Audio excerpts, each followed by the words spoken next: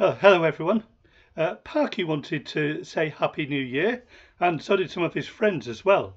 Uh, we've got King Louis and Wibsy, and lots of Parky's friends are, are here just to say Happy New Year. And uh, we are praying that 2021 is going to be great for you.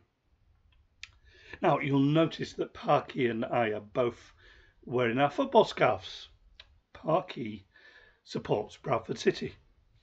He's kind of partly named after one of Bradford City's best football managers, uh, someone called uh, Phil Parkinson, or Parky for short, who got the team to the League Cup final and got them promoted to the dizzy heights of League One. Quite an achievement. Well, some of you will support football teams, uh, perhaps West Bromwich Albion, or Aston Villa, or Birmingham City, or one of the big teams like Liverpool or Manchester United. Uh, some of you might even support teams like Ipswich Town and even Leeds United. We'll forgive you that one today. It can be quite a roller coaster ride supporting a football team.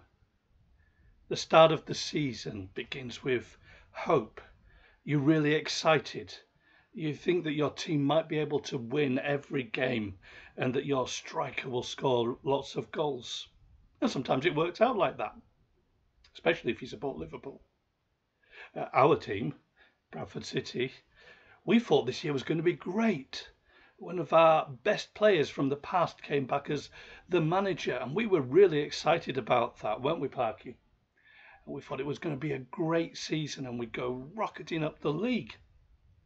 But instead, it's been a struggle, a disappointment. We can talk about hope a bit like when we talk about our football teams or about other things like how the school year is going to go, about how our favourite pop group, group are going to do. And we can think about hope as being, I, I kind of cross my fingers and I, I hope it's going to go really well, that the team will do well, that school will be okay, that life will be good. But we don't really know.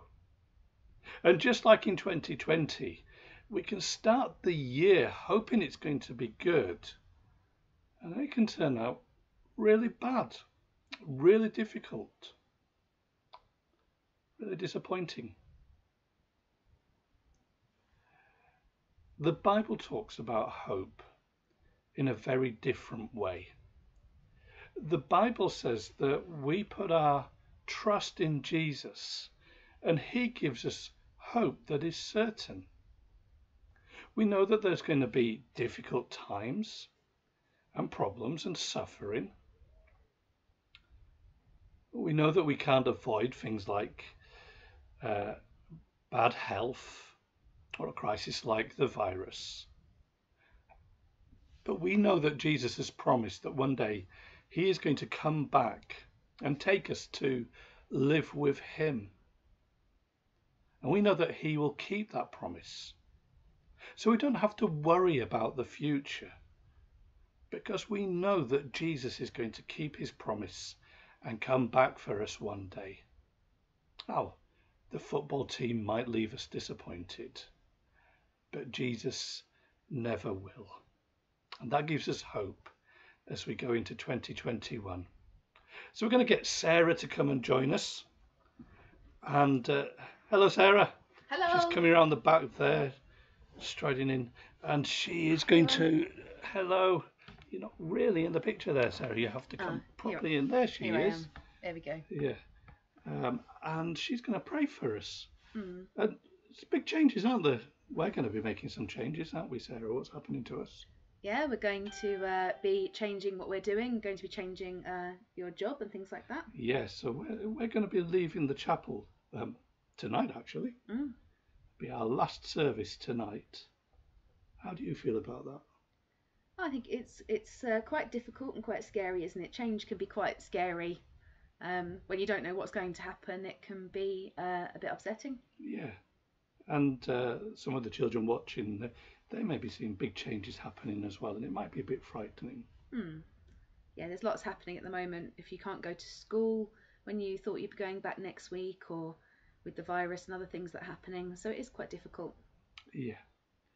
But that is why we can pray because we know that Jesus will be with us and we have the hope we've been talking about. Yeah. So, do you want to pray for us now? Yeah, let's pray together. Park, you going to come in and pray? There we go. Lord God, we thank you that you love us and that you look after us. Thank you that we're part of your family if we know you. And that means that if we're scared or if things are changing or if we don't know what's going to happen, we know that you never change and that whatever happens, you will always love us. Thank you, Lord, for this great promise. Amen. Amen. Well, you have a, a safe and happy new year hmm and keep hoping and looking forward to how Jesus is going to be with you next year. Yeah. I think it's probably time to say goodbye, isn't it? So uh, say goodbye to Parky. Bye, everyone. Bye, Parky. And uh, we can say goodbye to some of his other friends as well. to Wibsy and Drayton, yeah. And And is uh, Louis. Bar- oh, Barkley Bear. oh, Barkley Bear, our newest edition. Yeah. So bye bye, everybody. Bye bye. Take care. Happy New Year. Happy New Year.